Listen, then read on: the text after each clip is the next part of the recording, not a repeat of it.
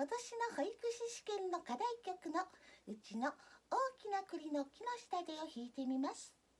楽譜がなくてもコード進行を考えて転調したりいろんなバリエーションで弾けると演奏の幅も広がります。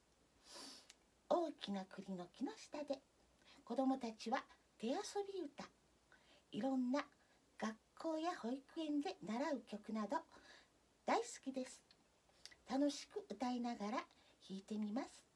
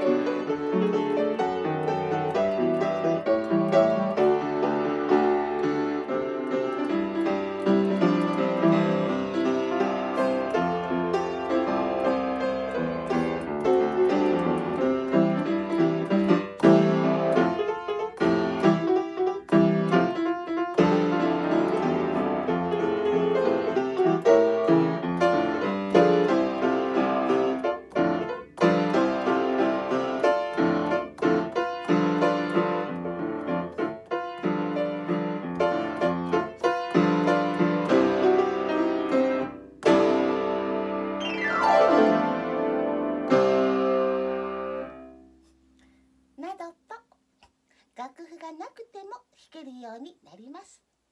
コード進行を考えて簡単な曲をアレンジできる能力も養います。